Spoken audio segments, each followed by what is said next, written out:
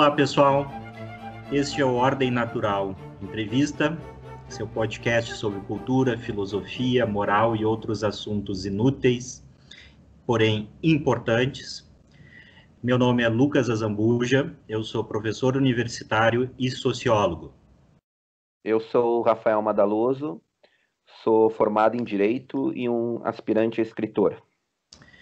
Nessa, uh, nesse episódio, nós vamos entrevistar a, da, a doutora Natália Janovic. Ela é médica psiquiatra pelo Hospital de Clínicas de Porto Alegre, especialista em dependência química por essa mesma instituição, especialista em psicoterapia de orientação analítica pelo Centro de Estudos Luiz Guedes, formação em terapia comportamental dialética pelo Behavioral Tech Linehan Institute doutora em Psiquiatria e Ciências do Comportamento pela Universidade Federal do Rio Grande do Sul. E nós vamos falar aqui sobre é, drogas, mas com foco muito na questão da maconha, a famosa cannabis.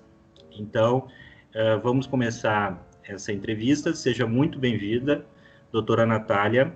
É, é, nós agradecemos o ter aceitado o convite de falar com a gente sobre esse tema tão, tão importante.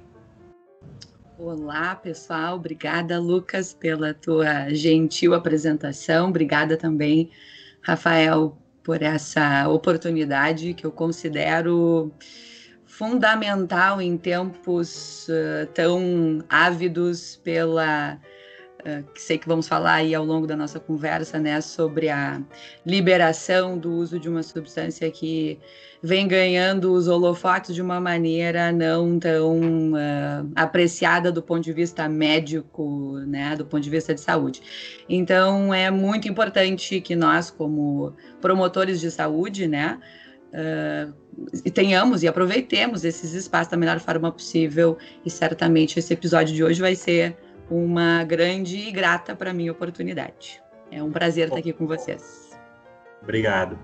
Antes de a gente começar a entrevista, pessoal, só pedindo para quem está nos, uh, nos ouvindo, é, de nos ac acompanhar o nosso podcast nas nossas páginas, no Facebook, no Twitter, no Instagram, no, nós temos um canal no Telegram, é só procurar por lá Ordem Natural Podcast, curtam, né, compartilham, é, para chegar esse conteúdo que é, a gente faz aqui. E também, antes de começar a entrevista, a, doutora Natália, se ela quiser passar as redes sociais dela, fazer a divulgação do uhum. trabalho, uhum. fica, fica à vontade. Obrigada, obrigada.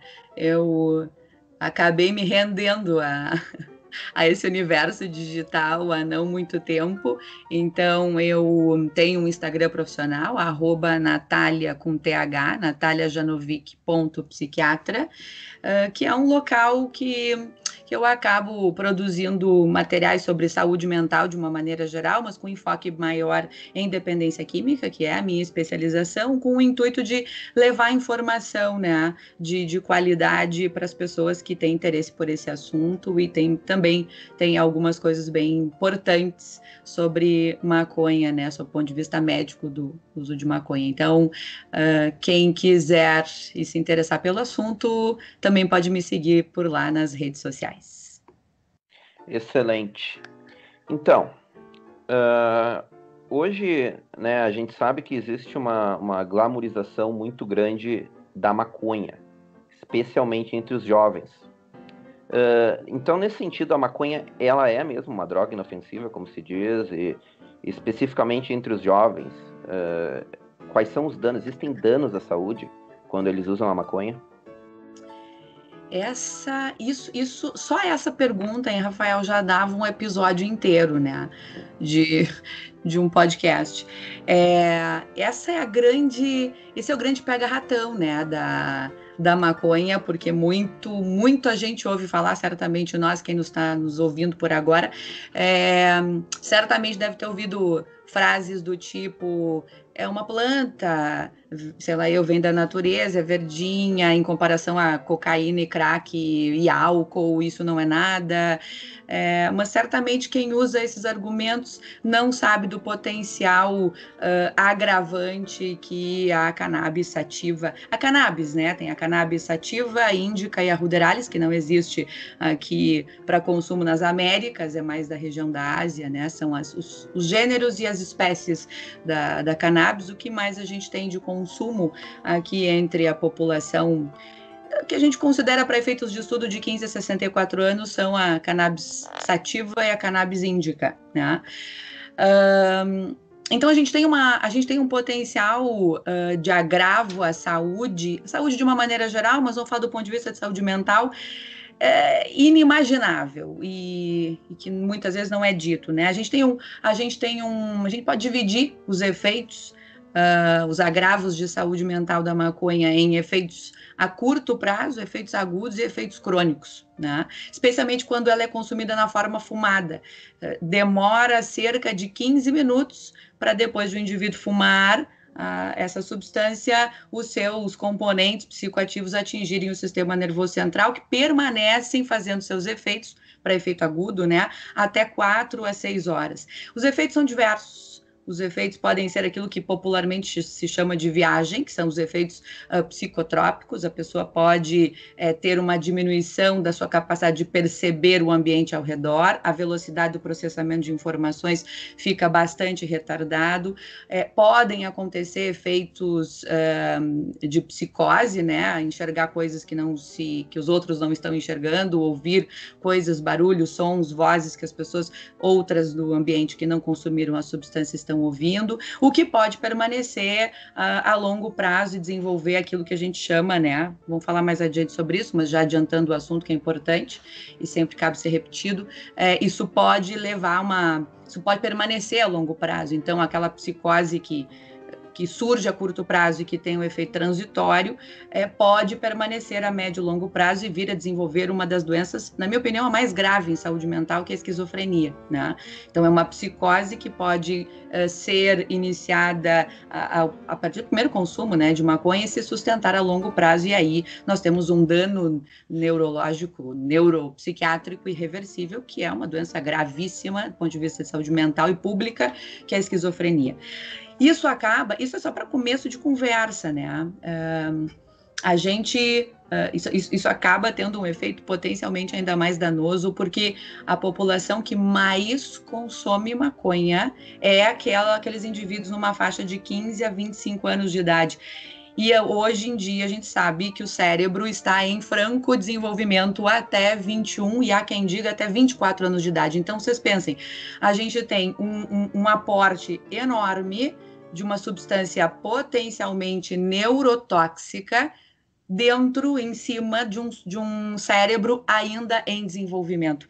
Então, quanto e esse é um dos fatores de risco, né, de pior prognóstico em termos de dependência química. Quanto mais precoce for o início de uma substância, de uso de uma substância, isso não é só para maconha, mais graves e de pior prognóstico vão ser os seus efeitos. Então, então percebam, a gente não está falando assim só de né, efeitos a curto prazo. A gente está falando de uma perpetuação de efeitos que começam a curto prazo e quanto mais precocemente for feito seu início, pior vão ser esses desfechos na idade adulta. É, não quero me antecipar aqui, tá falando coisas sobre né, saúde pública, saúde coletiva. Se a gente tiver oportunidade, quero falar um pouco mais adiante sobre isso, porque não é só o indivíduo é, né, esquizofrenizar ou ter alguma outra doença do ponto de vista psiquiátrico, transtorno de ansiedade, tipo o transtorno do pânico, é a segunda pior doença associada ao uso de maconha. Mas vocês pensem em todas as possíveis consequências de um indivíduo que sofre de um agravo de saúde mental em termos de saúde pública, né? Diminui evasão escolar aumenta uma barbaridade, diminuição de renda aos 30 anos, diminuição de empregabilidade aos 30 anos. Então, se a gente vai pensar né, na, no efeito cascata do início de uma droga, que né, falando até aqui de nada tem inofensiva, os danos são uh, terrivelmente assustadores, né? Não só do ponto de vista de saúde individual, mas coletiva também. É verdade que a maconha não gera dependência, como a gente ouve tanto falar por aí?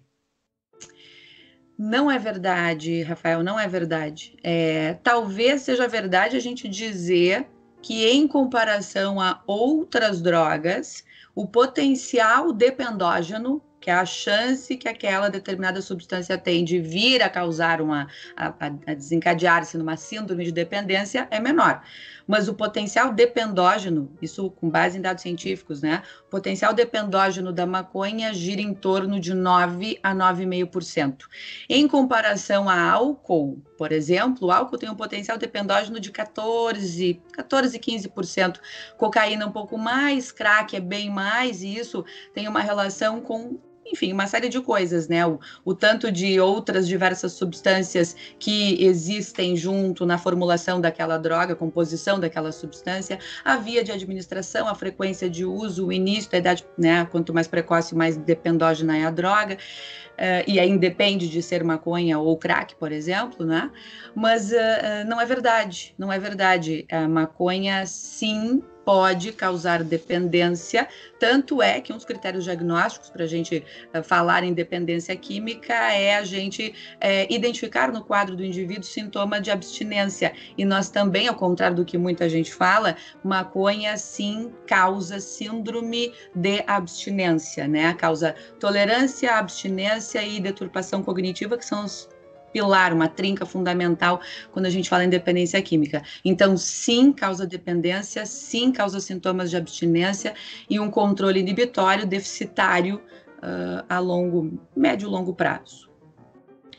É, isso é, é muito interessante, é, porque, assim, é, como tu já falou, né, é, a maconha ela é muito utilizada por jovens, de, man de uma maneira geral, né, assim, a gente é, principalmente numa, numa idade tão crucial e confusa é. ali que é a, a puberdade, né, hormônios, enfim. Uhum. E em geral, né, até onde assim meu meu senso comum consegue identificar, uhum. quando os jovens usam maconha, eles não usam só a maconha, né? Uh, eles usam normalmente Uh, inclusive assim em ocasiões uh, sociais, junto com o consumo de álcool. A gente sabe que no uhum. Brasil tem uma lei dizendo que não é né, permitido vender álcool para menores de 18 anos, mas a gente sabe que né, essa lei é praticamente não aplicada. Né? Uhum. É, eu queria te perguntar um pouco, né, o, quais as consequências para a saúde, né, é, é psicológica, enfim, é, dos jovens dessa mistura, né, do uso dessa mistura de álcool com maconha, já que são duas drogas que alteram a percepção, o humor e geram, né, como tu acabou de falar, um grau de dependência mais ou menos similar. Uhum, uhum.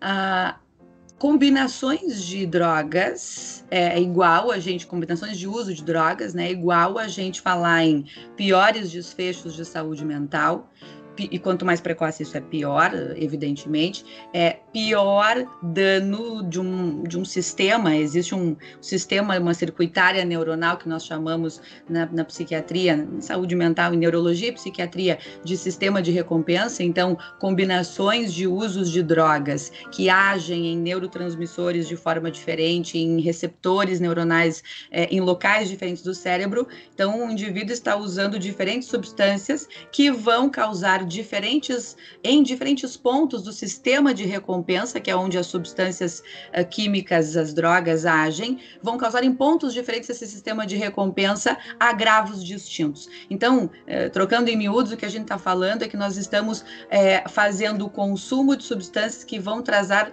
tratar, tratar e trazer diferentes transtornos mentais, né? Por exemplo, maconha causa tem Maconha age num sistema uh, próprio dentro do sistema de recompensa que se chama sistema canabinoide. E existem diversos receptores onde as substâncias psicoativas da maconha vão, vão agir, principalmente nos receptores canabinoides tipo 1 e tipo 2. Tipo 1 é o que está praticamente espalhado por tudo que é parte do nosso cérebro e principalmente em áreas pré-frontais do sistema de recompensa, que é responsável por controlar o nosso, o nosso freio, é o que nos dá uma, um, um senso coletivo, é o que me faz não, por exemplo, sair sem roupa na rua, porque eu tenho uma internalização e um controle inibitório de que se eu for sair na rua, eu vou ser penalizada por aquilo. Então, quanto maior é o consumo e mais precocemente o consumo dessa substância, piores vão ser os danos nessa região do cérebro chamada córtex pré-frontal, que faz com que o indivíduo não tenha uma capacidade de controle inibitório e de planejamento de execução de tarefas a médio e longo prazo. Isso é o que maconha mais faz em comparação a outras drogas. Outras também fazem. Álcool também. Álcool vai agir numa outra ponta do sistema de recompensa que é mais voltada para a capacidade de percepção do ambiente, de comportamentos de risco no ambiente, de motivação, não é? Isso drogas em geral fazem, mas álcool está mais relacionado a outro, entre aspas, tipo de comportamento. Então a combinação de drogas vai fazer com que o indivíduo tenha um e outro dano, percebem? Uh, independentemente do que que álcool faça e do que que maconha faça, é importante que a gente sinalize aqui o seguinte: existe uma circuitária que fica toda comprometida, que é o sistema de recompensa, e ao cabo de algum tempo de uso, nós vamos ter uma ou outra características do comportamento humano deficitárias, ou uma síndrome amotivacional, que é o que a maconha mais faz, ou a capacidade de perceber é, risco diminuída, ou um controle inibitório deficitário. O pior, a pior combinação possível possível que a gente possa falar aqui em dependência química é a combinação de cocaína, cocaína barra crack, né? Porque crack é uma cocaína muitíssimo piorada, e álcool. A combinação dessas duas substâncias gera uma substância outra chamada cocaetileno, que tem um potencial de causar dependência maior do que cocaína isolada e álcool isolado. Então, cocaína e álcool combinados é, é uma bomba de Hiroshima em termos de é, de danos né, em saúde mental, mais do que qualquer outra combinação de substâncias é, em saúde mental. É, é, mito a gente dizer que maconha é porta de entrada para outras drogas. Não existe isso. Não existe. Se a gente pudesse falar em porta de entrada, eu arriscaria aqui dizer para vocês que álcool é mais porta de entrada, até por conta de condutas já há muito mais tempo liberalizantes, né, uh, do álcool em comparação a outras drogas, muito embora a maconha esteja assim no mesmo ritmo, né, no mesmo caminho de condutas liberalizantes de descriminalização e legalização, como já aconteceu e ainda existe, né, quanto a álcool e fumo, por exemplo. Pois é, é tu, ah, tu, acabou de falar uma série de assim efeitos comportamentais, né, que o uso é. dessas drogas é, possuem, né? E uma das coisas que me chama atenção, muitas vezes os defensores da liberalização da, da maconha, a gente vê isso muito em artistas, pessoas do show business dizendo o seguinte: ah, maconha é uma droga inofensiva, porque no fundo é. ela deixa as pessoas mais calmas, né? Diferentemente do álcool, né? A gente vê essa realidade realmente, muito da violência doméstica, etc., está associado ao álcool. Mas, assim, a experiência que eu tenho é que o efeito do álcool, do abuso, por exemplo, do álcool, ele vai depender de pessoa para pessoa. Há pessoas que quando bebem ficam é, violentas, há pessoas que ficam no outro extremo, amorosas demais, até a gente pode uhum. falar, né? Uhum. ficam fazendo declarações apaixonadas. Com a maconha é a mesma coisa, ou seja, o uhum. efeito uhum. vai depender muito da pessoa, ou seja, há uhum. pessoas que é, têm uma tendência à violência e isso pode piorar com o uso da maconha? Claro, super importante esse teu apontamento, Lucas, super importante mesmo. É, cerca de 50, 48 a 50, 51% da população brasileira estudada, isso é de 15 a 64 anos de idade, fazem uso de álcool, por exemplo a porcentagem de diagnóstico desses 40, 50% da população consome, 10, 12% tem um diagnóstico de alcoolismo. Então, assim, todo mundo que usa álcool vai ter a doença, vai desenvolver um transtorno relacionado ao uso de álcool, que é o nome técnico para isso? Não, evidentemente. A mesma coisa vale para outras substâncias, né? Um, no Brasil é menos de 1%, menos de 1%. A gente tem cerca de também 8, 7, 8% da população brasileira que usa maconha, mas deste contingente, isso não quer dizer que 7, 8% tem um transtorno relacionado ao uso de maconha, de cannabis, né? Cerca de 0,3, 0,34 para ser mais precisa, é, é o que tem o diagnóstico de transtorno relacionado ao uso de de maconha. E isso sim varia eh, de indivíduo para indivíduo, mas esse é só um dos fatores, né? Eh, a gente pode falar aqui em fatores de risco relacionados à dependência química, e isso vale não só para maconha, mas para drogas outras de uma forma geral. História familiar é uma delas, né? Ter familiares de primeiro grau com alguma dependência certamente aumenta a chance de eu ter caso, né? Isso fosse o meu, a minha situação. História familiar, história é, genética, variações genéticas, existe uma sobreposição genética genética, por exemplo, com uh, desenvolvimento de esquizofrenia e uh, psicose induzida por maconha, dependência de maconha, por conta de uma sobreposição genética, uma alteração num gene que codifica uma enzima chamada CONT. Né? Isso é uma coisa super técnica, mas só para explicar para vocês que existe uma mesma explicação genética, uma variabilidade genética, que explica tanto o risco aumentado de desenvolvimento de esquizofrenia, quanto o desenvolvimento, o risco aumentado para desenvolvimento de dependência de maconha, por exemplo. Né? E aí entra outras coisas não tão familiares barra genéticas, que é o circuito social, né? Uh, o, o, quanto os ambientes sociais, o ambiente acadêmico por onde aquele indivíduo circula, é, baixo nível socio, socioeconômico, é, evasão escolar ou menor disponibilidade né, de, de, de, oferta de outros recursos acadêmicos para os indivíduos em formação, especialmente a partir dos 7, 8 anos de idade, diagnósticos outros em transtornos mentais e o mais associado uh, quando a gente faz diagnóstico de transtorno por um, uso de maconha é o transtorno de déficit de atenção. Muitas vezes as pessoas medicam, não só este é bem verdade, né? Muitas vezes as pessoas começam a, entre aspas, medicar os seus sintomas com o remédio maconha, né? Quando na verdade o que está acontecendo, que é a, que é a, a teoria da automedicação, e as pessoas com, continuam consumindo outras essas e outras substâncias como forma de amenizar uh, sei lá, ansiedade, fobia social, é, desatenção, hiperatividade, quando na verdade o que acontece é piorar a desatenção, porque um dos receptores onde a maconha vai agir fica exatamente no centro responsável por é, registros de novas memórias e a capacidade de concentração. Então a gente está usando, o indivíduo está usando maconha para medicar desatenção e está piorando a desatenção. E para hiperatividade é a mesma coisa. Então, transtornos mentais em paralelo, história familiar, genética desfavorável, é, ambiente, né, o, o privação sócio, cultural, econômica, acadêmica, são um dos vários, alguns dos vários fatores de risco relacionados ao desenvolvimento da dependência química, não só de maconha. Ah, entendi.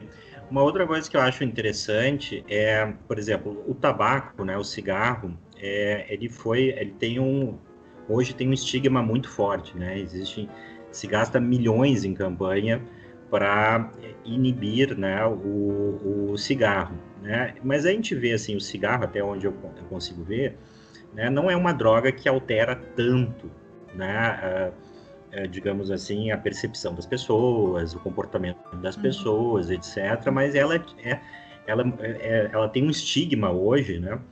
É muito uhum. grande e as campanhas falam dos danos à, à saúde, né? O, o câncer, é, no caso dos homens, impotência sexual e por aí vai, câncer de mama, imagino, nas também. mulheres também, né? Uhum. A maconha, normalmente, ela é fumada, né? É consumida com, uh, a partir do fumo, né? Uh, tem paralelos nos danos da saúde entre maconha e o cigarro, ou não? São uh, drogas diferentes nesse sentido? São equivalentes. Importante a gente lembrar disso. A gente fala muito sobre danos psiquiátricos, né, do uso dessas que alteram a capacidade de percepção e do comportamento, mas também existe risco uh, aumentado de desenvolvimento de câncer de pulmão, câncer de bexiga, câncer de próstata, câncer de ovário e útero em mulheres, associado ao uso de maconha, uh, tanto quanto, tanto quanto não, as porcentagens variam, mas não é estatisticamente significativo. A gente pode falar que, do ponto de vista aqui prático, para está nos assistindo, existe risco para o desenvolvimento de doenças clínicas, né, não, não psiquiátricas, relacionadas a, relacionadas à maconha também. Há não muito tempo atrás, talvez vocês devem ter lido, porque ficou lido ou ouvido né, nos noticiários, cerca de um ano e pouco atrás, houve uma onda de mortes em jovens nos Estados Unidos, principalmente relacionados a, aos cigarros eletrônicos, né? E, e, se investigou uma barbaridade aquilo para ver se era de fato aquilo ou quais eram os componentes no, no, no líquidozinho que se coloca no, no cigarro eletrônico para ser vaporizado e a, a, a, substância presente com que se associou os danos pulmonares irreversíveis. Muitos jovens foram a óbito por uma doença pulmonar grave secundária ao uso de cigarros eletrônicos, que esse é o nome todo, tem uma sigla chamada EVALI, E-V-A-L-I, para quem quiser ler mais a respeito. É, então, essa foi o, essa, essa, é a sigla que denominou a síndrome respiratória grave associada ao um, uso de cigarro eletrônico, porque dentro do líquidozinho uh, do aromatizador que se coloca no cigarro eletrônico existia uma pequena porcentagem de, pasmem, mas não tanto, THC, que é o principal, o princípio ativo, né, psicotrópico uh, presente na cannabis sativa. Então, não é só câncer de pulmão, porque a gente está falando aqui câncer de pulmão, né, em tese, se desenvolve daqui 30, 40 anos. Nós estamos falando sobre doenças clínicas com potencial letal de desenvolvimento de curto prazo. Curto prazo é dias, semanas, né? Uhum. De desenvolvimento de uma doença clínica. Então, existe. É, agora, uma, uma questão sobre a qual tu já se manifestou, tu já disse que tu gostaria de falar, né? É. Que é a, a questão da, da saúde pública, né? A gente vê ao redor do mundo aí vários novos experimentos, né, com uh, legalização né, da maconha e em alguns lugares até de outras drogas, né? E como é que a medicina, né, e mais especificamente a psiquiatria, tem se posicionado sobre, sobre essas experiências né, de legalização da maconha ao uhum. redor do mundo? Uhum. É, essa é uma questão, essa, é, isso é outro que dava um outro episódio aqui desse podcast, não tenho dúvidas. Vamos tentar resumir esse ponto super importante, né?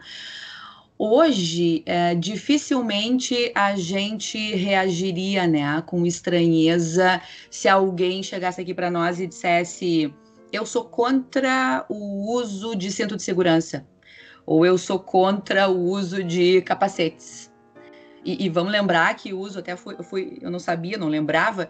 Eu fui olhar quando é que foi, quando é que se passou a ser obrigatório o uso de capacetes e cintos de segurança. É coisa de agora, 97. 97, quando mudou a lei de trânsito. É isso, né, Lucas? balançando.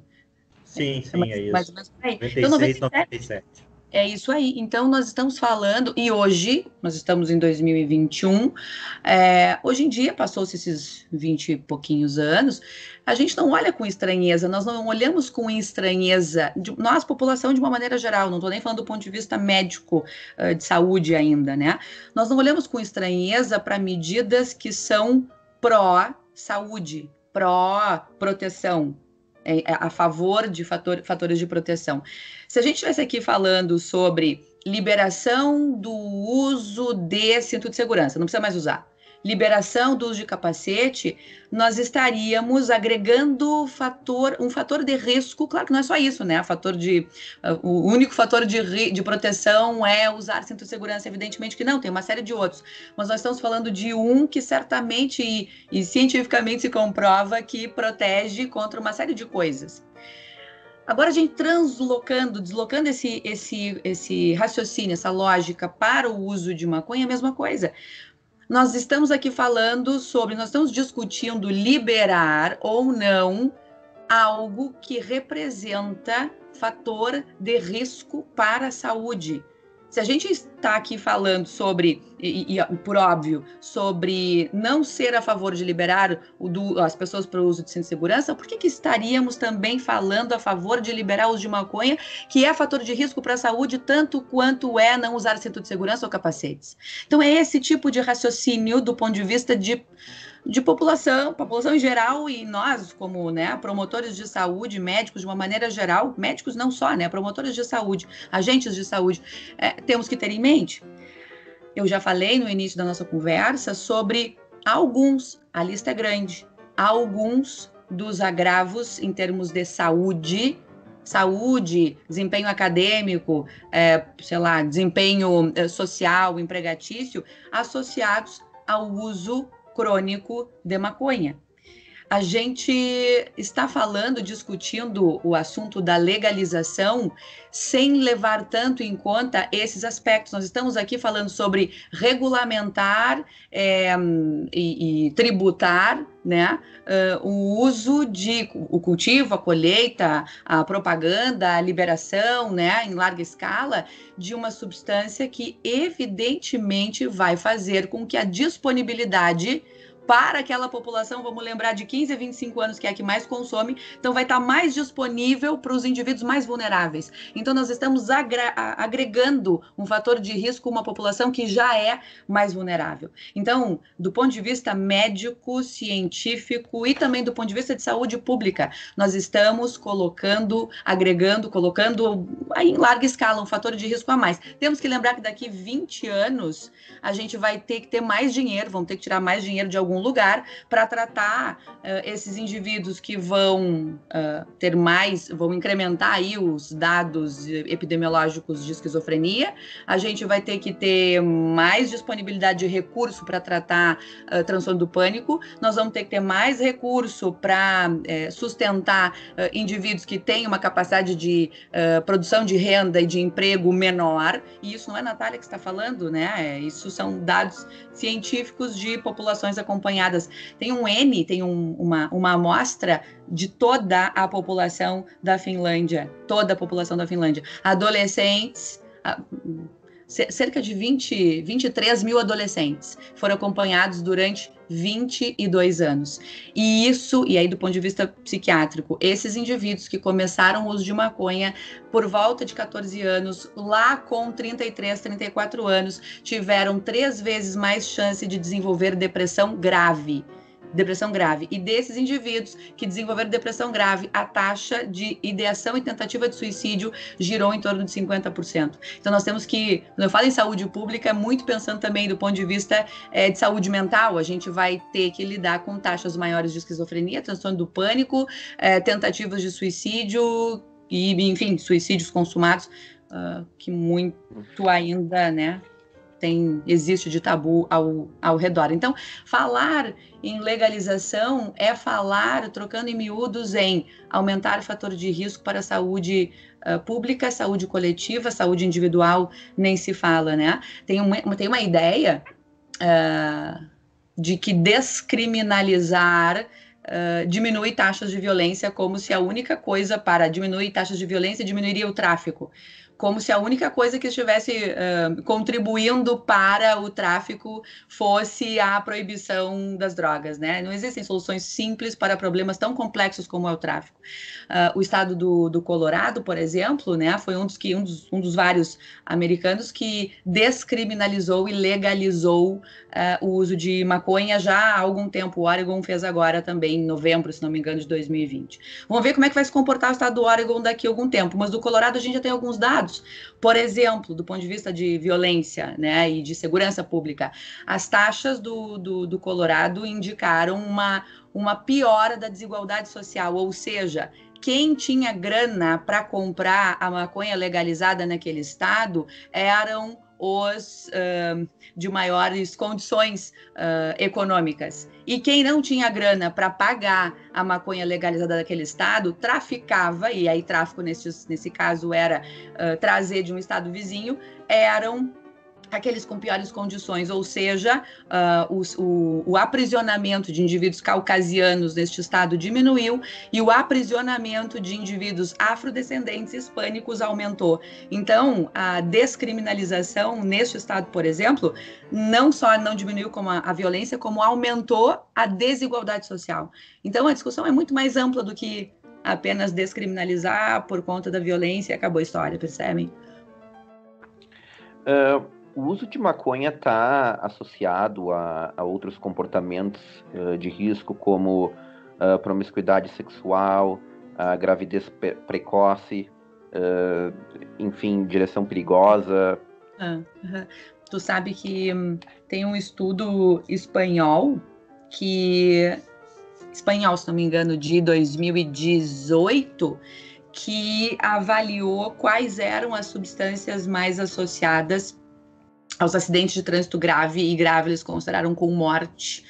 Uh, e ao contrário do que se tinha como hipótese de que os acidentes graves estavam relacionados a, ao consumo de álcool na direção, esses, esses acidentes estavam relacionados ao consumo de maconha e direção.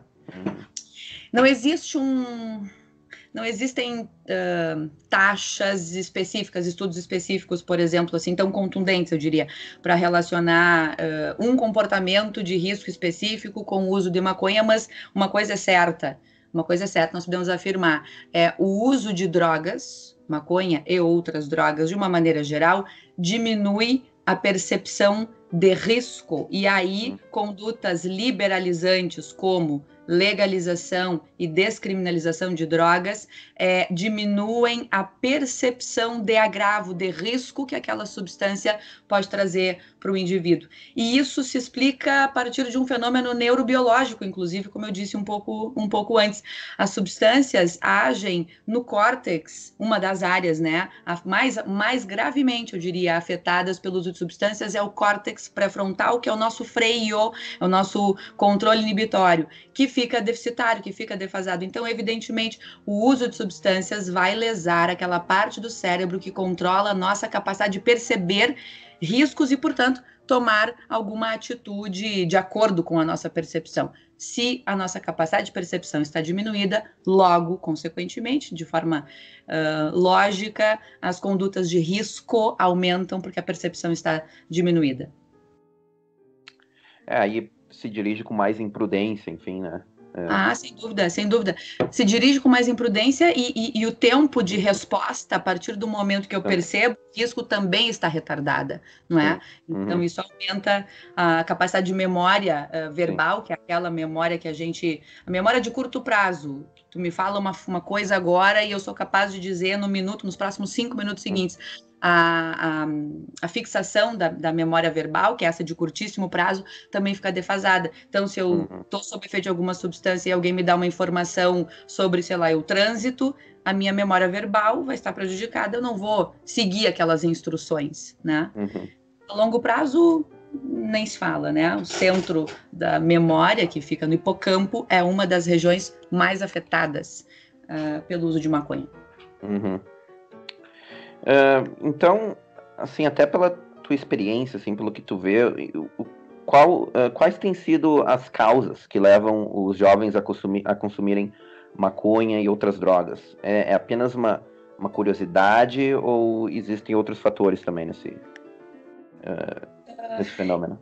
Exi eu falei um pouco antes sobre os fatores de risco, Sim. né? e esses, alguns deles são inerentes uma história familiar, o indivíduo uhum. nasceu com uma genética mais predisponente, né?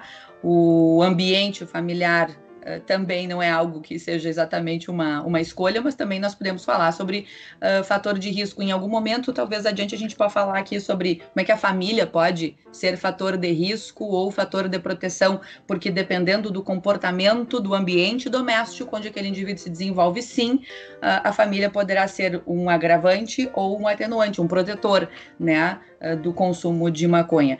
Neste caso, por exemplo, o consumo de maconha pelos pais, pelos progenitores fatores é fator de risco, uh, ambientes mais punitivos, coercitivos, de pouco diálogo, uh, também de pouca troca, né? As relações familiares deturpadas e ou marcadas por punição e por coerção também uh, aumentam as taxas né, de consumo de substâncias e estamos nos direcionando mais para maconha aqui, e um baixo vou chamar de monitoramento né, familiar, porque não é assim. Suporte. Uh, isso, sem dúvida, sem dúvida, suporte, acolhimento, Sim. monitoramento não é uma não é monitoramento ostensivo, não é uma vigilância, né, no pé, porque isso também uma pegação no pé, porque isso também acaba uh, fazendo com que o ambiente seja expulsivo para este adolescente, mas tampouco ser acolhedor, receptivo, é, no sentido de deixar espaço para o diálogo e para a fala, né, deixar o, o adolescente, o indivíduo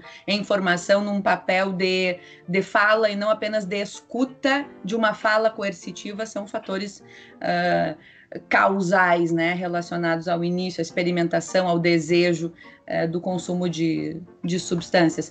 É, é, é, bem verdade que a gente tem que aqui também lembrar uma outra coisa. É, é, é, infelizmente, mas essa é uma verdade, é, a gente tem pouco, né? Vamos combinar que estamos nós três aqui nessa conversa, é, esse diálogo, essa conversa importantíssima, importantíssima, vai para um podcast que pode ter acesso a menos pessoas do que nós gostaríamos, os conteúdos que eu publico nas minhas redes sociais e eu produzo e com muita atenção, eu, eu busco as melhores informações para colocar no, no, no, meu Instagram e assim como eu, vários outros colegas sérios, sérios, dedicados né, à saúde de uma forma geral fazem isso, mas isso tem pouco acesso. Uhum. Tem pouco apelo, tem pouco apelo versus versus agora em tempos de pandemia e, e, e, lives acontecendo com patrocínio e merchandising da, né, da, da indústria do álcool, uh, agora da indústria da maconha um pouco também, né? 30% de todo o custo cinematográfico é, para essas produções hollywoodianas, 30% vem de merchandising e boa parte vem de um aporte da indústria do tabaco e da indústria do recentemente chamado, uh, infelizmente, mas achei bem apropriado o termo do ouro verde, né? Que é ouro verde, que é a maconha. Então, então a gente está falando de uma luta aqui é muito desigual, muito desigual. O alcance que nós temos é pequeno, mas importantíssimo, e esse é o nosso papel, tenho, tenho certeza disso. Versus o apelo do merchandising da indústria do álcool, da indústria do, do ouro verde, né, da indústria do tabaco, ou o, o apelo que a cantora, sei lá, Anitta tem, uh, que é uma mulher bonita, atraente, que faz propaganda segurando uma cerveja, ou a música dela, de uma outra pessoa que. Uh, o nome, se não me engano, é verde ou verdinha, alguma coisa do tipo, que é uma música, uma verdadeira apologia ao consumo recreativo do uso de maconha. Então, tudo é, que eu falei antes é causa. Hã? Isso tem muito, né? Tem muito, Hoje. tem muito. Então, o apelo, o apelo que nós temos aqui, por mais sérios e dedicados e estudiosos que sejamos, o nosso apelo é incomparavelmente menor do que o apelo que a indústria e, e, a grana que se coloca em torno disso. Então, tem muito interesse, existe muito interesse na liberação, né? na liberação, na legalização uh, do uso de maconha, porque, vamos combinar, a maconha é um produto, é um produto e se eu sou dona do produto, eu quero que quanto mais pessoas uh, tiverem acesso e comprarem o meu produto, melhor. Então, as condutas liberalizantes também estão levando muito em conta o comércio, a grana, o lobby da indústria uh, por trás né, dessas, dessa preocupação uh, versus a nossa preocupação aqui de promover saúde, levar informação de qualidade, mostrar o outro lado dessa mesma moeda e, e, se der, né, a gente poder promover e estimular condutas de prevenção. Fora que legalização, por exemplo, de maconha, né, mas de todas as drogas, de maconha é nosso assunto principal, legalização de maconha acaba fazendo cair por terra qualquer conduta no que diga respeito à prevenção. Como é que tu vai falar em prevenção se a coisa é legalizada, não é? Como é que a gente vai falar em prevenção de uso de álcool se em qualquer boteco de esquina uh, o uso está aí liberado com consumo, né? Uh, com algumas sanções que são facilmente uh, transpostas. Então, essa é uma discussão pertinente e que num conjunto enorme de causas, Rafael, para o uso de substâncias, eu colocaria tudo isso, fatores genéticos, ambientais, mas também é, comerciais aí, né, envolvidos, sem sombra de dúvidas.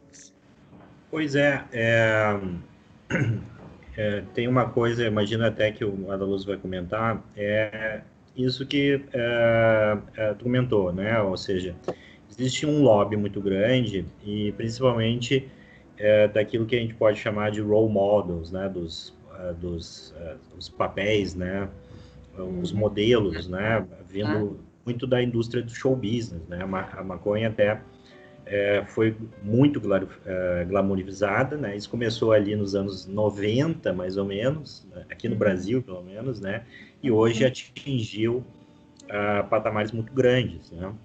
Uhum. Então, assim, é, normalmente até os pais que se preocupam, né, uh, com essa questão do, dos filhos, né, eles ficam um pouco é, é, em desvantagem, porque afinal de contas é o pai contra o artista que o, o, o filho Justo. idolatra, o comediante claro. que ele morre de rir, é, enfim, né, e, e, toda a pressão social, né, é, que se cria para não só tornar, como tu estava falando, é, a maconha como algo permissível, uh, inofensivo, mas às vezes até quase como uma obrigação social, né? como um rito é, de passagem é, para o adolescente se sentir incluído nas uhum. tribos.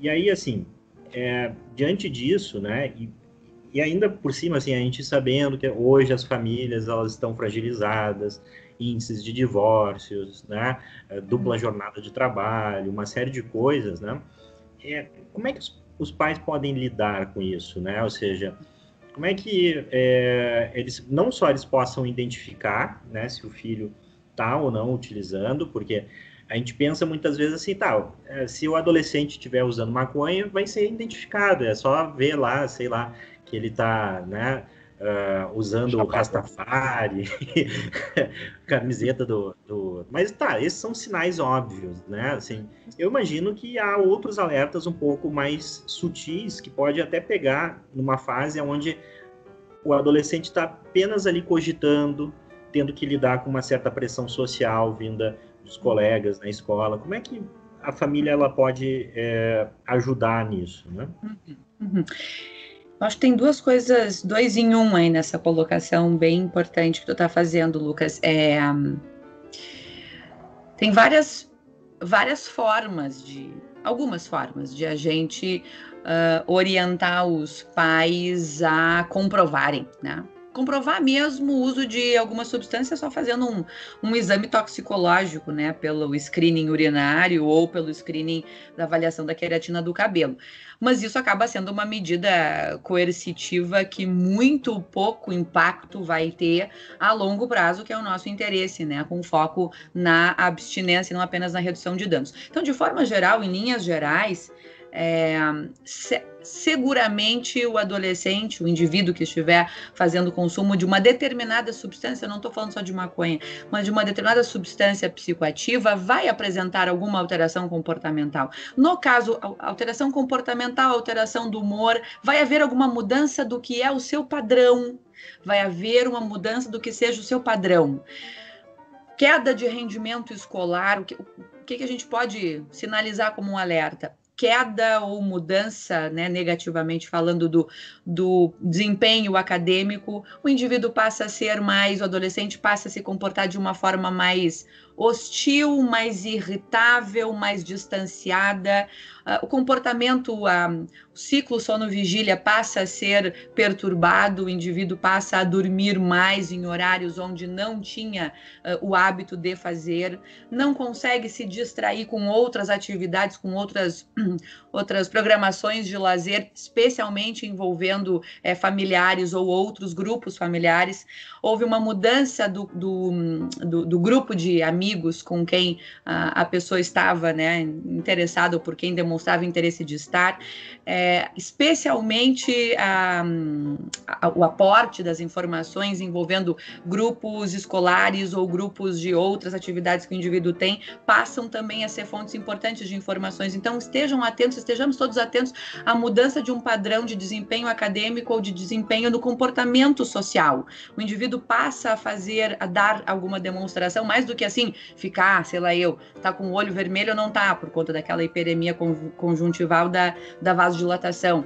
Mas o desempenho acadêmico vai piorar, repetências são relativamente comuns, é, brigas acabam sendo mais constantes, conflitos e um comportamento mais hostil do adolescente acaba sendo mais uh, frequente do que o visto até então. Né? Isso para drogas em geral, mas para maconha acho que mais marcadamente.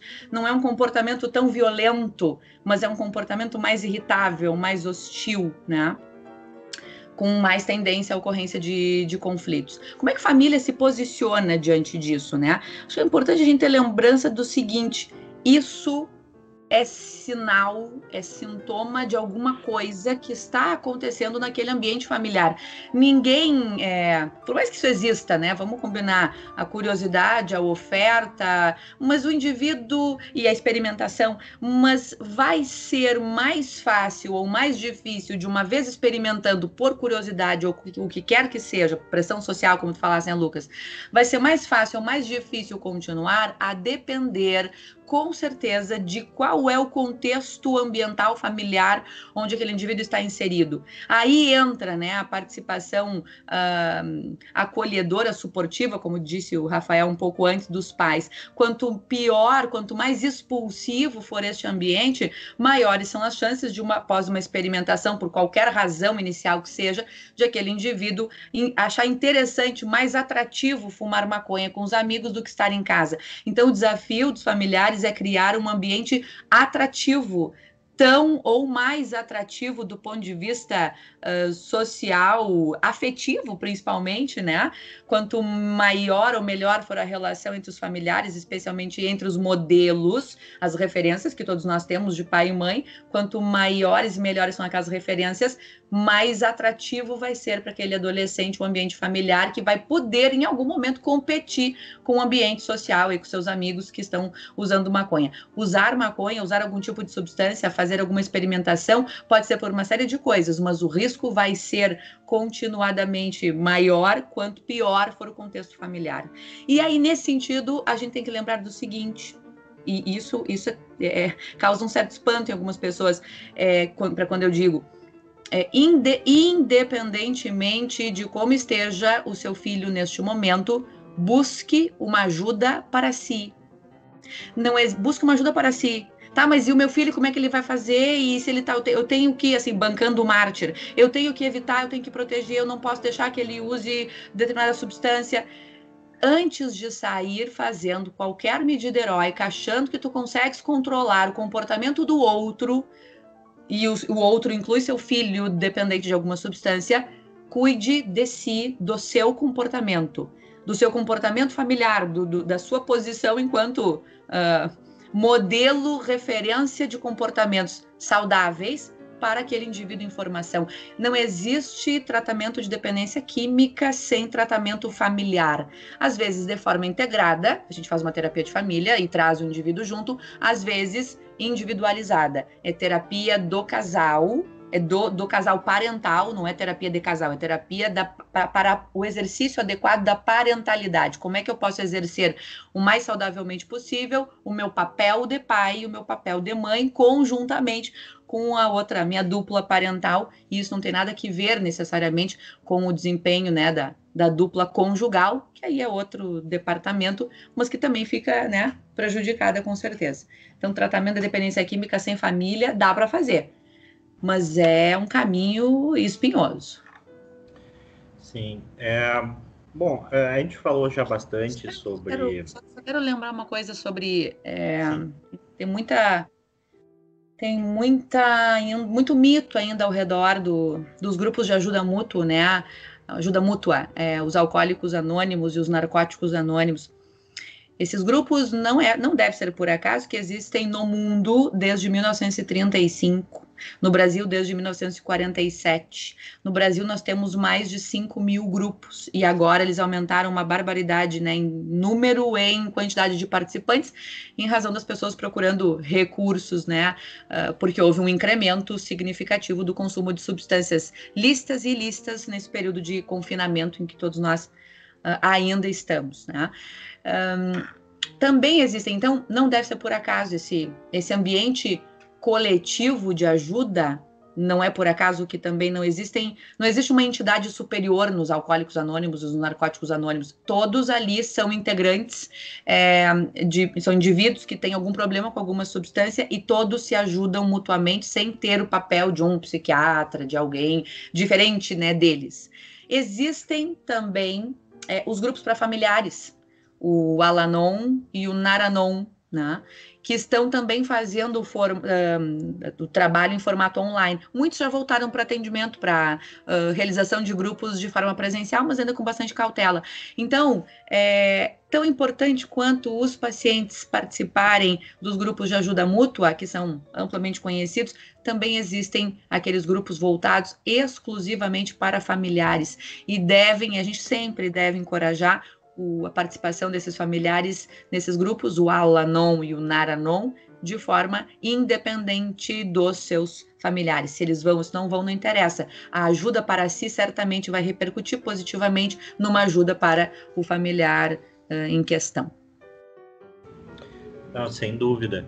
É, foi muito importante dar até esse aviso, porque às vezes a, a maioria das pessoas até desconhecem isso, né? Que existe também é, serviços de, de suporte, orientação é, para a família né, que é, tenha um filho ou um ente querido passando por esse tipo de situação, por esse tipo de problema.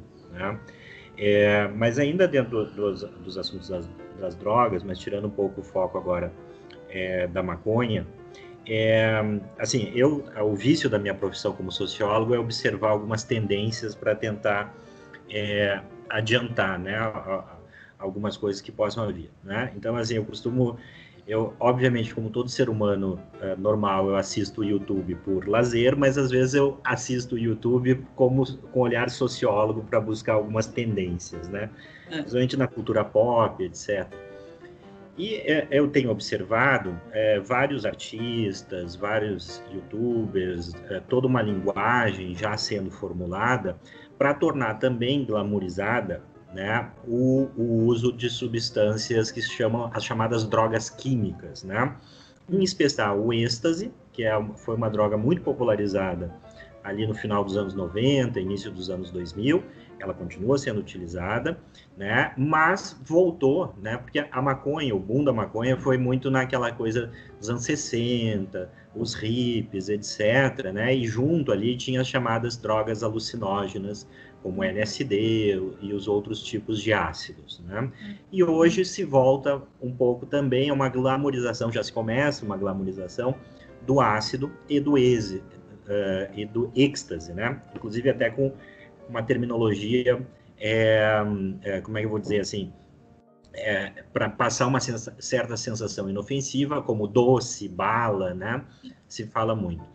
É, nesse sentido, eu imagino que os prejuízos à saúde é, é, mental, né, psíquica da pessoa que utiliza essas drogas químicas, né, é, sejam maiores. Eu queria saber um pouco qual é, né, porque também isso está atingindo muitos os jovens, né, em, em baladas, festas, uh, já uma utilização bastante difundida, até onde eu consigo perceber, do êxtase e uh, do ácido. Né? Quais são os efeitos dessas drogas uh, sobre a saúde?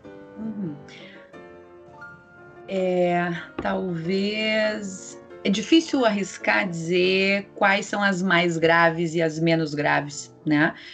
É, eu, eu não gosto de fazer muito essa distinção porque eu posso cometer aqui uma uma, uma falsa uma falsa ideia e induzir as pessoas a algo que não é real de que existem drogas uh, que são mais graves e que portanto existem menos graves e essas menos graves assim tá ok né uh, esse discurso pode favorecer uh, quem pode já ter alguma ideia nesse sentido e, e, e não existe Não existe. Não existem dro Ai, drogas menos graves. Não existe. Existem drogas que causam efeitos diferentes entre si, mas todas, todas absolutamente causam, trazem uma repercussão a nível uh, psiquiátrico, neuroquímico, uh, sem sombra de dúvidas. O que diferencia é, por exemplo, o tanto de tempo que aquela determinada substância vai levar para trazer o prejuízo perceptível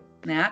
E aí, neste sentido, por exemplo, o crack é uma das drogas que mais rapidamente a gente consegue perceber o, o, efeito lesivo, né? A curto prazo, em comparação, por exemplo, aí entram as drogas sintéticas. Drogas sintéticas têm um potencial dependógeno menor, menor do que maconha, por exemplo, e, e, todas as outras. Maconha girava em torno de 8, 9%.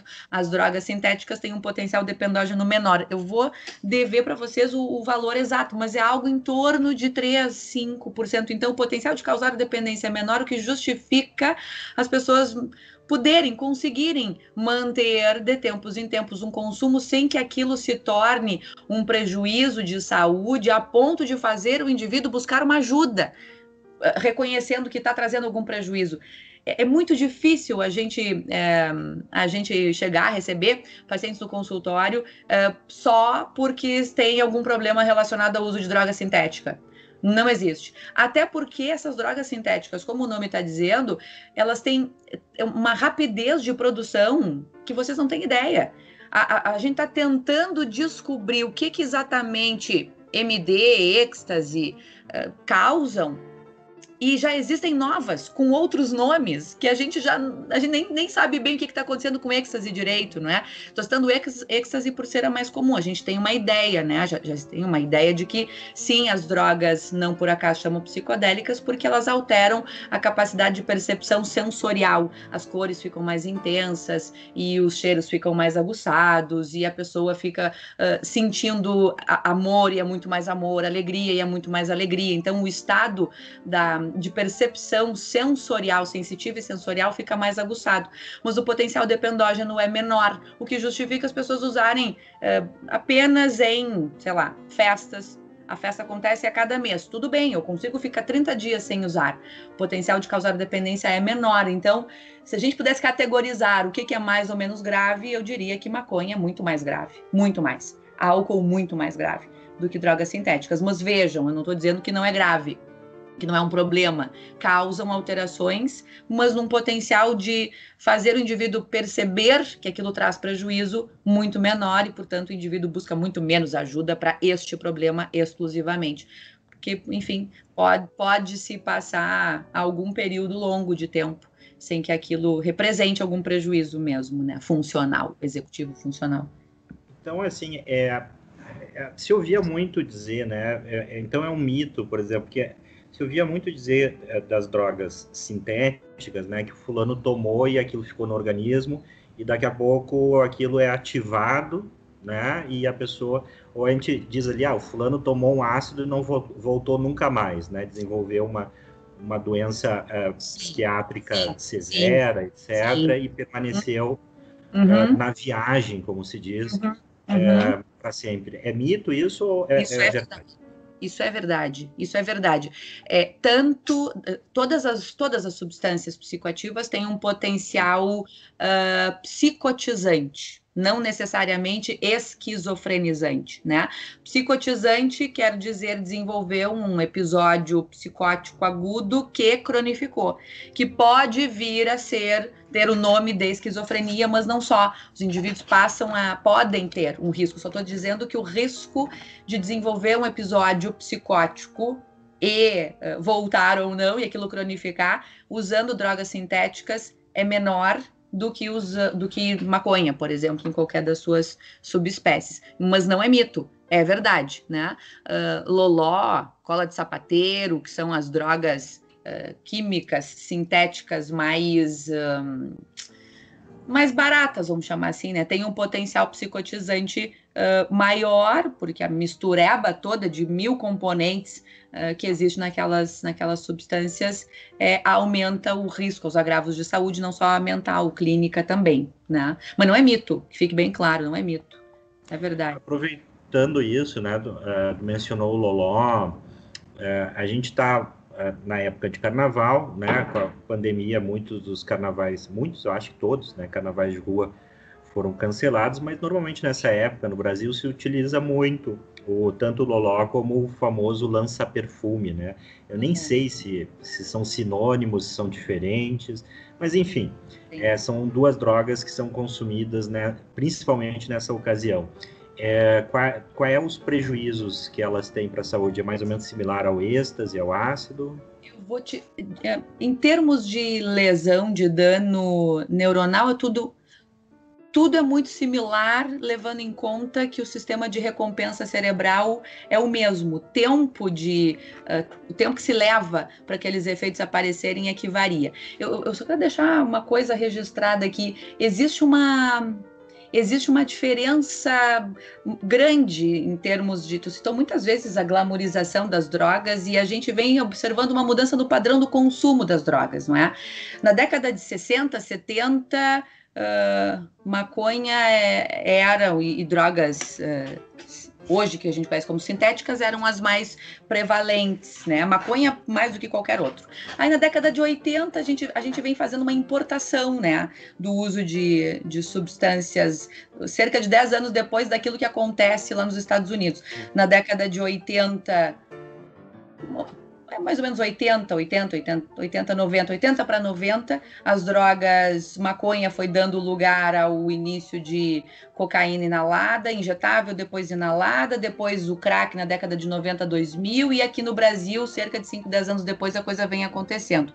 Então, hoje em dia, a população que usa, o perfil da população que usa crack, loló, lança perfume, cola de sapateiro, perfil é muito, perfil socioeconômico é um versus o perfil de indivíduos que usam MD, êxtase, um, ou drogas, outras drogas sintéticas, maconha sintética. Uh, então, a gente tem que diferenciar o perfil do usuário potencial dependente de acordo com né, as suas condições sociais, econômicas, educacionais e isso diferencia o perfil do consumo da, de uma ou de outra substância. Então, quando a gente fala de crack, loló, cola de sapato, são drogas baratas. São drogas baratas. Um, um, uma, uma bucha, um pino de cocaína custa em torno de 20 reais.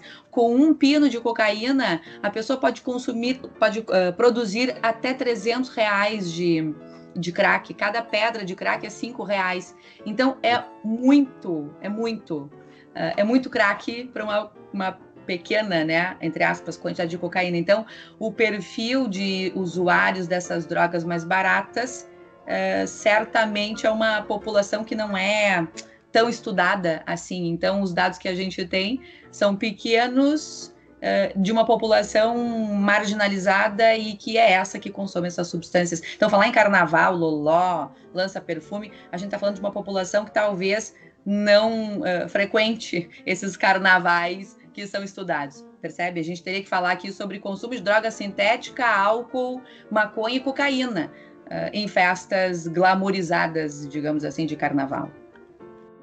É, é então, seguindo uh, a nossa conversa sobre, né, na linha do crack, ela é, né, o crack é uma das substâncias mais temíveis, né, ao ponto de que eu não me lembro, assim, de ver na mídia a glamorização do crack, que né, a mesma coisa, da mesma forma que se glamoriza a maconha, uhum. né? E, uhum. e, eu também já ouvi falar de que é, a, a, primeira vez que a pessoa usa o crack, né, é. é já na primeira vez a pessoa fica viciada, né? E já é um realmente uma luta assim para a pessoa conseguir se livrar daquele vício só uma vez depois que usou. É verdade isso aí? E de fato o crack, né? Qual é, qual é o perfil também do viciado nessa, uhum. nessa droga. Uhum. É, o crack é uma droga, como eu disse, né, muito barata, muito barata. Uma pedra de crack custa em torno de cinco reais. Então, é, quem não tem grana para consumir drogas em que um, um, pino de cocaína custa 20, drogas sintéticas muito mais do que isso, uh, então acaba consumindo uma a, a substância que está disponível, que é disponível. Cachaça hoje em dia é mais barato que água um litro de cachaça é mais barato que a água. Então, é, acaba que o perfil do usuário é, é, por vezes, muitas vezes, moldado de acordo com a sua, seus recursos, né? Sociais, econômicos, principalmente. O que torna o crack, o crack é uma, é uma mistura de resíduos e restos de uma, não só de cocaína, é uma mistura de muita coisa, mas é, é feito a partir da pasta base uh, da cocaína. Então, o efeito, quando a gente fala em cocaína e crack, nós estamos falando da mesma substância, mas o crack sendo uma cocaína muitíssimo piorada. Por que, que crack, então, é muito pior do que cocaína se a gente está falando da mesma substância em termos de princípios psicoativos? Especialmente por conta da via de administração. O crack fumado Uh, leva cerca de oito, e isso é incrível, oito segundos para atingir o cérebro. Em cerca de 30 minutos, o efeito já se esvaiu. Então, a cada 30 minutos, o indivíduo vai estar mais vulnerável e, e desejoso por ter aquela droga que em 8 segundos causa um efeito uh, bombástico. Bombástico. Então, o potencial dependógeno é, é proporcional, isso não só para crack, né? O crack é o exemplo clássico, mas o potencial dependógeno é diretamente proporcional ao potencial destrutivo da droga. Isso não quer dizer, e o, e o crack, levando oito segundos, não tem nada, né, que, que só, sei lá, eu, só em ambientes de anestesia para fazer uma cirurgia, né? Uma, uma droga demora tão pouco tempo para fazer tantos potenciais, potentes efeitos. É, isso não quer dizer que não tenha tratamento, né, Rafael? É, claro que torna o tratamento muito mais difícil, porque a gente tem que lutar contra a disponibilidade, o fato de ser barato, a desestrutura familiar e, claro, o potencial neurobiologicamente uh, altamente depend dependógeno dessa droga. Não quer dizer que não tenha tratamento não podemos dizer que tenha cura, a gente não fala em cura em dependência química e transtornos mentais de uma maneira geral. Existe um, um controle, mas que exige né, dos órgãos uh, cuidadores da família um ambiente de continência muitíssimo mais alinhado do que em tratamentos de outras dependências, né? Seguramente. E, e com relação à cocaína, uh, quais são os problemas que ela representa para o usuário e quão disseminado é o uso da, da cocaína no Brasil?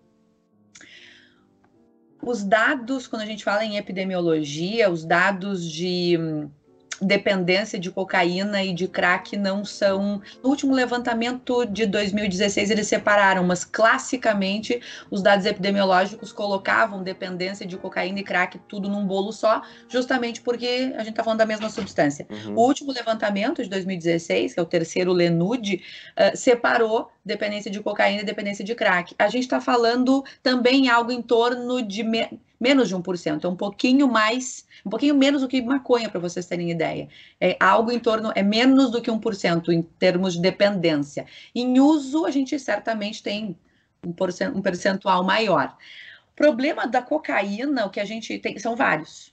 Todos que eu já falei a respeito de dependência química, sistema de recompensa, desinibição comportamental, mas aquele para o qual a gente precisa ter um alerta especial são os eventos vasculares, cardiovasculares relacionados em indivíduos jovens, né, até 40 anos de idade. A principal causa uh, mortes de infarto em indivíduos jovens é evento uh, cardiovascular relacionado à overdose por cocaína, né? Uh, AVCs, especialmente isquêmicos, mas não só, e infarto em população jovem tem relação, a gente sempre tem que desconfiar e investigar intoxicação né, aguda, uh, overdose por, por cocaína, pelo seu efeito vasoconstritor subsequente. É, Agora, eh, finalizando, a gente sempre faz entrevista, tá uh, com uma um certa uh, tradição, né? Uma tradição recente que é hum. pedir para o entrevistado dicas de leituras, né? Hum. Nesse sentido, sobre esse assunto, drogas, pode ser hum. voltado à maconha ou de maneira geral, eu, a gente queria te pedir du duas dicas, né, de leituras. Uma direcionada aos pais, né, pessoas que não só os pais, mas a família de maneira geral, né, que tem uh, para lidar com a questão das drogas, e a outra para os jovens, né, o que, que, seria uma, uma boa literatura para uh, eles entenderem um pouco dos riscos, né, é, do uso de drogas, se tu puder nos indicar. Claro, claro.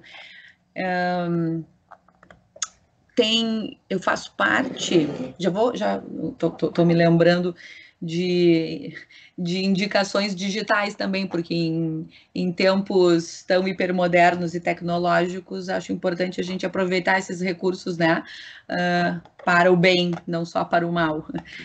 É, existe uma associação, Associação Brasileira de Estudos sobre Álcool e Outras Drogas, que produz uma série de materiais, e materiais são uh, livretos né, disponíveis de forma gratuita no, no site da ABEAD, A-B-E, A-B-E-A-D, ABEAD. É, existem lives, palestras, eventos gratuitos voltados para a população. Então, no site da ABEAD tem um link voltado para a psicoeducação de materiais de livretos informativos a respeito só uh, sobre dependência química, né? Uh, tem um livro que eu gosto e sempre que possível recomendo para todos os familiares que eu atendo de pacientes né, com algum transtorno relacionado ao uso de substâncias, que se chama Seu Adolescente Desafiador, do Russell Barkley, que é um professor de pediatria e psiquiatria e pediatria da Medical, Medical Institute ou University, agora não me lembro, of South Caroline. Depois a gente pode colocar por escrito se for melhor. O nome do livro é Seu Adolescente Desafiador. É um livro que traz uh, dicas, orientações, informações sobre como manejar situações conflitivas. Embora o título diga Seu Adolescente, isso serve para qualquer problema familiar do ponto de vista interpessoal, né? Como tratar de forma assertiva com seu adolescente, como estabelecer regras de maneira assertiva e não conflitiva, que é a, base, né, do tratamento familiar quando a gente está falando de dependência química. E existe um outro, uma outra recomendação que eu sempre faço para para fa familiares e aí também para indivíduos que querem se informar uh, a partir de uma fonte segura e confiável, que é um livro que se chama Maconha, Uh, tratamento, prevenção e políticas públicas da Alessandra Dil, da Sandra Pilon e, e, colaboradores e mais uma série de outros colegas que escreveram uh, capítulos a respeito, então, de como é que surgiu maconha no mundo, para que, que serve, danos, efeitos uh, colaterais, né, danos psiquiátricos e clínicos, e também fala sobre, a gente não falou hoje, mas serve para uma outra oportunidade, sobre o canabidiol, né? muito está se falando aí atualmente o uso terapêutico do canabidiol, que é muito diferente de a gente falar de, de maconha medicinal. Maconha não é medicinal, maconha é uma coisa. Canabidiol é outra coisa. Uhum. Canabidiol é um dos componentes, né? Um dos mais de 450 componentes presentes na cannabis sativa e este sim tem um potencial terapêutico. Então ali neste livro, é, um dos capítulos uh, eu e outros dois colegas escrevemos especificamente sobre o canabidiol e o uso terapêutico, que é muito diferente de falar que maconha, né, a planta maconha, é, é usada para fins terapêuticos, o que hum. não é verdade. Então tá, muito obrigado por essa excelente conversa, doutora Natália. É, disponibilizar o tempo aí, né? A gente está, para quem não o pessoal que está nos ouvindo não, não vai saber, mas a gente está gravando aqui no meio do feriado, é disponibilizado o tempo aí do, do feriado dela, na agenda dela. É, foi ótima a nossa conversa, esse tema é muito importante, como foi reforçado, há uma série de mitos, né, e uma guerra de informações que uhum. É, o outro lado leva vantagem, mas a gente tem que fazer aí a nossa, a nossa parte.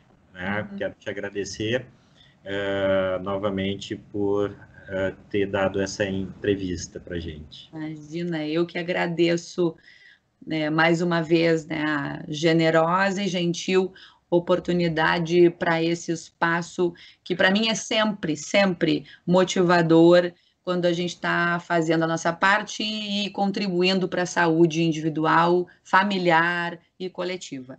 Eu agradeço muitíssimo e desejo sucesso Sucesso cada vez mais aí para o podcast. Obrigado. Então, pessoal, esse foi o Ordem Natural Entrevista. Por favor, né, reforçando, curtam aí a nossa página no Facebook, inscreva-se no nosso canal lá no Telegram e nos siga no Twitter, no Instagram e no YouTube. Também nós temos lá o, o áudio né, do, do podcast. É, por hoje, então, é só. Até o próximo episódio. Fiquem com Deus e até a próxima.